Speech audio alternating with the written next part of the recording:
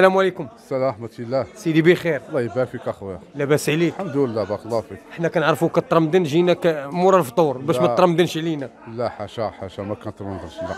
كي كيجيك رمضان بخير الحمد لله بخير. شنو كيعجبك فيه؟ وكتعجبني فيه هو ديك آه، آه، كيولي بنادم يمشي للجامع بزاف كتولي آه، يعني كتبقي ديك صلاه التراويح آه، بكل تواضع آه كتكثر العبادة الحمد لله. العبادة هي ديما كاينة ولكن عندها واحد الطابع خاص شهر رمضان. الله يتقبل. وكتضحك شوية.